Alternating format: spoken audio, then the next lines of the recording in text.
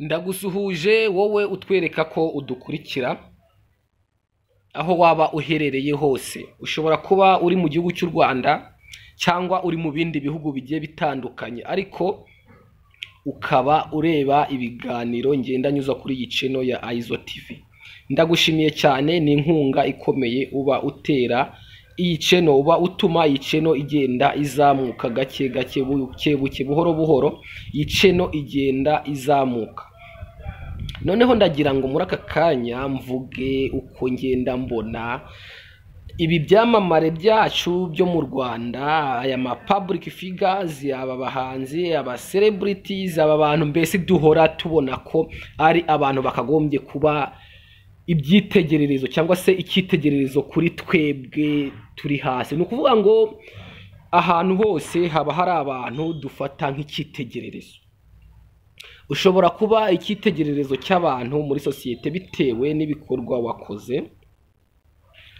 Ushobora kuba icyitegererezo bitewe n'ibintu abantu bakuziho. Uburyo wamenyekanye ni byo bituma uba umusitari cyangwa se uba icyamamare. Ndagaruka mu mateka y'u rwanda.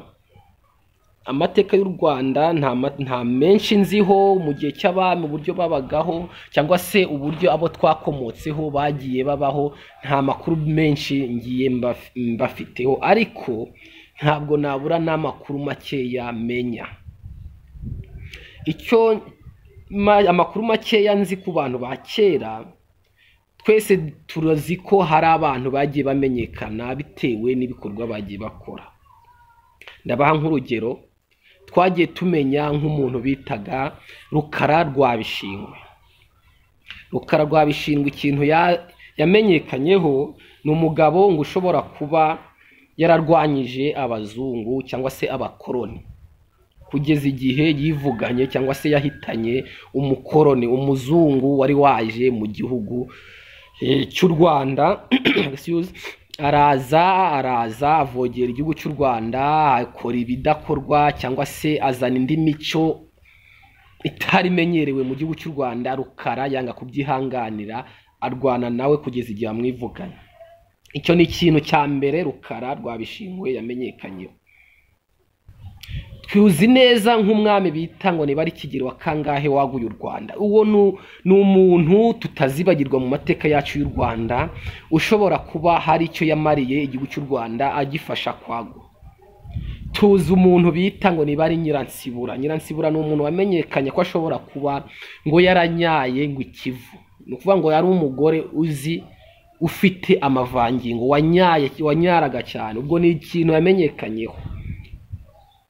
Twese tuzi umuntu bise ngo kanjogera. Tuzi uwo bita ngo musinga. Tuzi abantu benshi bagiye batandukanye mu mateka yacu y'u rwanda bitewe n'ibintu bagiye bakora. Mu by'ukuri kera kugira ngo witwe intwari cyangwa se kugira ngo umenyekane abantu bose bakuvuge cyangwa bakuririmbe wamenyekanaga bitewe n'ibikorwa byiza. Kuvuga ngo ibigwari ntabwo bakundaga kubivuga mu mazina. Kera umuntu bavugaga mu byivugo umuntu basingizaga ni umuntu wabaga afite ibikorwa ntashikirwa. Umuntu wavugaga ibi wakoraga ibikorwa ubona ko ari ibikorwa bifitiye abandi akamaro. Ibikorwa by'ubutwari. Urugero narubabwiye nk'umuntu waguye igihugu cy'u rwanda kikaba igihugu kinini yakoze igikorwa twese twubaha cyangwa se abantu bose tubona ko ari igikorwa cyiza. None ndagira ngo tuvuge no kuri ibi byamamare dufite muri iki gihugu cyacu cy'u rwanda. Ni ukuvuga ngo muri iki gihugu cyacu cy'u rwanda dufitemo ibyamamare bigiye bitandukanye. Ndabaha nk'urugero dufitemo abo ba yutuba bagiye batandukanye ngabo ngo ba yago dufitemo ngo ba kasuku ngo dufitemo ngo ba abantu bahora bavugira ku masipesi ngo ba godifada dufitemo abo bantu bita ngo ba dj buriyani dufitemo abo ngo ba jihadi dufitemo abantu bagiye batandukanye birirwa bavuga vuga ugasanga ibyo bavuga rimwe na rimwe bari gukotora bari kuvuga ibintu ubona ko bitakagombye kuba bivugwa n'abantu tubona ko bakagombye kuba ari abambasaderi bacu cyangwa se abantu bakatubereye abarora modo urajya kuri yutube ufungure yutube usange abantu bari kuvuga ngo uriya ngo bamurongoye mu kibuno. Urajya kuri yutube usange ngo umuntu ari kwivuga ubutwari uburyo yaryamanye n'umugabo mugenzi we. Ndagira ngo yenda tutanyura ku ruhande turebe amateshwa ari guhora avugirwa ku mbuga nkoranyambaga zacu izi yutube sosho mediya ibintu bigiye bitandukanye. Ndagira ngo namwe mbabaze ko navuze ko kera havugwaga abantu bamenyekanaga bitewe n'ubutwari. Ndagira ngo mbabaze nk'umuntu bita Eric Semuhungu. Ikintu yakagombye kuba yaramenyekanyeho ni ikihe? Ngewe icyo nzi cyo cyangwa se icyo nzi Semuhungu yamenyekanyeho Eric Semuhungu ni umuntu wamenyekanye kuba ari umugabo witwaye neza mu kuryamana n'abandi bagabo. Ni ukuvuga ngo muri make ni umuntu uhuza ibitsina n'abandi bagabo. Mwaramwumvisha bitaga moshoni moses moshoni twahigwa moses. Ni umuntu wagiye hariya mu myambarire agaragaza ubwambure yajyambara ibintu biterekeranye mbese ubona ko ari umuntu uri kwamamaza ya mico y'abazungu. Atari ya mico yacu ya kera ya mico yacu cyangwa se imico yacu ituranga. Hari imico yacu nyarwanda ituranga. Ubundi kera nta muntu nta mico yo kuryamana n'undi mugabo y'abagabo. Ariko hano mu rwanda ni cyo kintu kigiye kuba kiri sigisi nababajije nti ese umuntu bita Eric Semuhungu ni nk'ikihe kintu yamenyekanyeho kizima? Usibye kujya hariya akanika ikibuno akanika agatuza akiyambura akagaragaza uko ateye.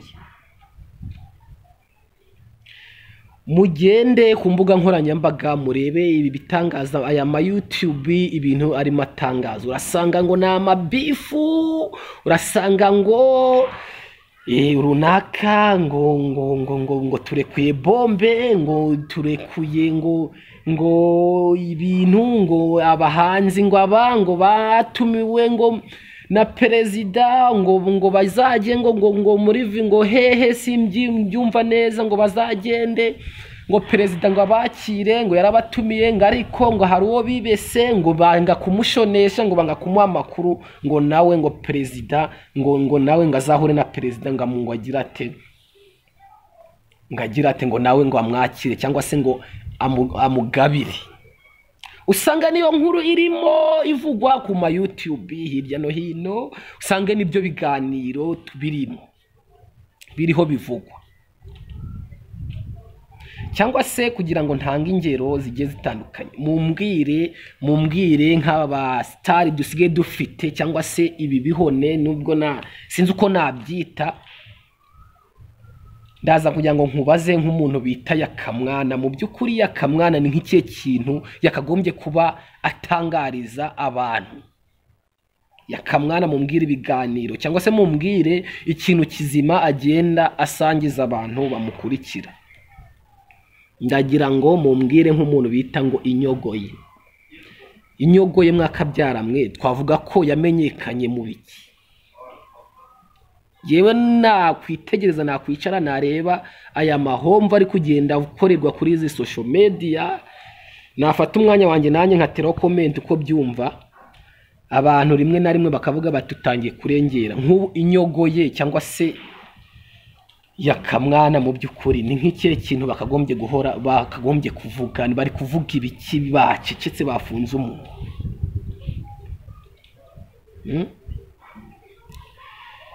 ngewe uko mbibona imyaka iri kugenda iza mu by'ukuri.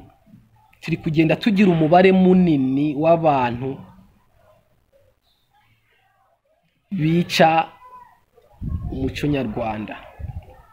Ngewe ndambiriye cyangwa se mpa agaciro abasokuruza imibereho babagaho. Abasokuruza ba kera cyari kibaraje ishinga kwari ukubaka u rwanda kwari ukuruteza imbere kwari ukurushakira ibyiza. None aba basitari cyangwa se ibi byamamare byacu. Ubu twavuga ko ko dufite umubare mwinshi w'abantu bagenda bavuga ibiterekeranye kandi uko bugenda bucya bukira hari kuza abantu benshi. Mu by'ukuri u rwanda ruri kwerekeza. Mwarabibonye mu mafoto hari umukobwa wigaragaje aratinyuka ajya hariya yambara ubusa agaragaza ikibero yagaragaza ikibuno cye agaragaza byose imyanya y'ibanga ashira hariya twese turamureba. Uwo bita isimbi noweline ni isimbi noweline mwaramubonye. Mu by'ukuri iri terambere turimo tujyamo riri kutuganisha hehe muyende murebe amafoto y'umugabo bita Eric Semuhungu. Mu by'ukuri iri terambere riri kutuganisha hehe? Njyewe ntaho mbona. Turimo turagira umubare mwinshi w'abantu badafite icyerekezo cyiza. Turimo tugenda twononekara. Nta kintu njyewe nabikoraho ariko hakagombye gufati- gufatwa ingamba. Abantu bakajya hariya ku masosho media bakavuga ibintu bizima ibintu byubaka ibintu biratuma n'abandi cyangwa se ibintu biratuma abandi bakuramo inyigisho. Kuvuga ngo umu celebrities umu, umuntu uzwi umustar ni umuntu wemfluencinga cyangwa se utuma abandi bantu bamwigana cyangwa se bamureberaho ni ukuvuga ngo wowe niba ugera hari- hariya ku masosho media ugakora igikorwa cyiza hari abantu benshi wigishije.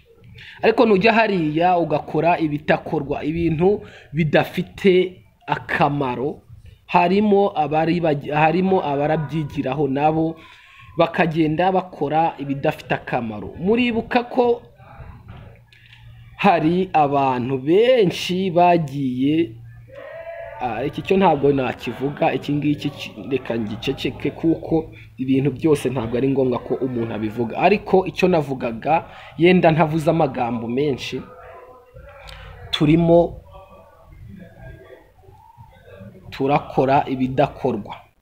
Ibi bintu biri ku mbuga nkoranyambaga zacu ni ibintu biri kugenda biba too much biba byinshi cyane bikwere mbese biri kugenda biba wese biri kugenda biba byinshi cyane. Kandi imyaka iri imbere mu itegeko tugiye kubona urubyiruko rwinshi rwabaye ibihone rwabaye ibintu nta ntazi uko nabivuga. Tugiye kugira umubare mwinshi w'abatinganyi mu gihugu cy'u rwanda kuko abatinganyi bari kujya hariya bagasansibiriza bakigisha bakagura imbibi bakanda nk'uko babivugaga. Bakakora igikorwa cyitwa kwigisha batari bazi izo ngeso. Harimo abari kugenda baba batinganye bitewe n'abatinganyi cyangwa se n'abari kugenda bigisha ku mbuga nkoranyambaga.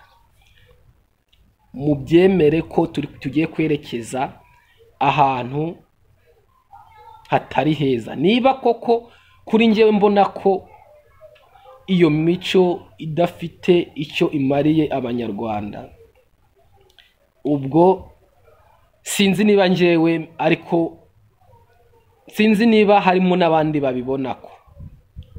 Kuko njyewe ku giti cyanjye ntabwo nabyara umwana ngo ejo mbone yabanye umutinganyi ngo binshimishe. Nakagombye kubyara umwana w'umuhungu cyangwa w'umukobwa nkamushingira akazaguka akazaba akazagira tukazagira umuryango munini. None niba narabyaye umwana w'umuhungu ejo nawe akagenda agahita ahinduka akaba umutinganyi. Mu by'ukuri ngewe nungutse iki wamubyaye? Ngewe uko mbyumva ndabona turi kwerekeza habi. Sinzi niba harimo n'abandi babona ko turi kwerekeza habi. Ikiganiro cyanjye cyari iki ngiki? Naho ibutaha